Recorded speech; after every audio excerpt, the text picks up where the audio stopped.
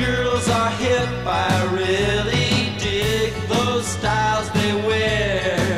And the southern girls with the way they talk, they knock me out when I'm down there.